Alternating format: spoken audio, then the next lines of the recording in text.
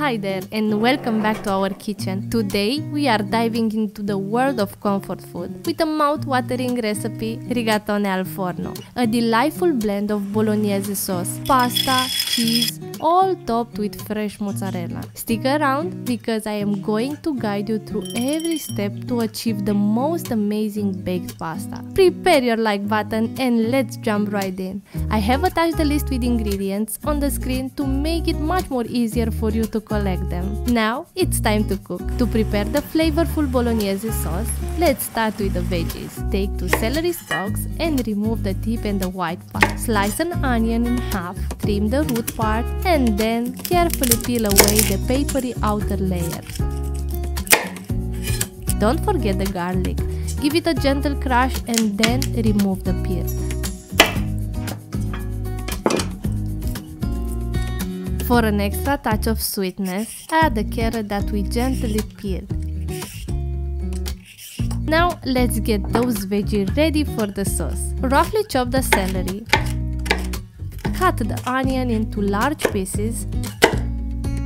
As for the carrot, slice it into large pieces and give the garlic another gentle crush. Those veggies will infuse our sauce with a unique and delightful flavor. Heat a pan and sprinkle with 1-2 tablespoons of olive oil and let the beef brown a little. Once it's lighted brown, toss the chopped veggies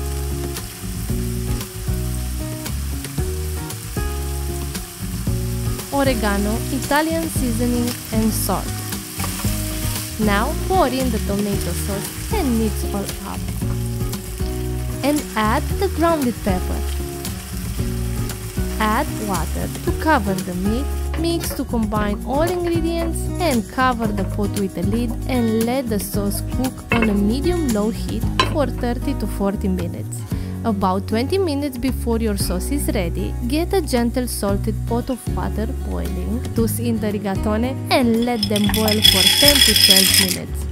Based on the instruction from the packaging. While the pasta is cooking, preheat your oven at 180 degrees Celsius, equal to 356 degrees Fahrenheit.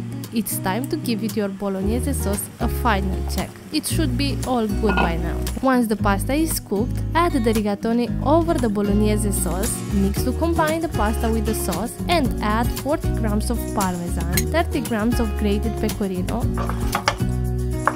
and then the grated mozzarella for the amazing melted cheese effect.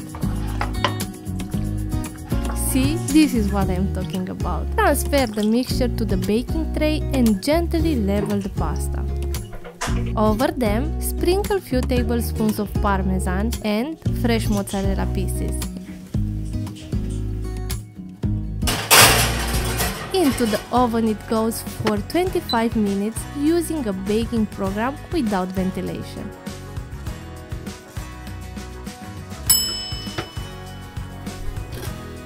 Just look at the golden top of the pasta. Like an Italian would say, fantastico. Finish it off with a sprinkle of freshly chopped parsley and enjoy every bite because it's ready to serve. Go ahead and add some extra parmesan if you fancy. Gather around your family and have an incredible meal together. Buon appetito! Oh, and if you liked our recipe, don't forget to give us a like for support and subscribe to our channel for more wonderful recipes. Till next recipe, happy cooking!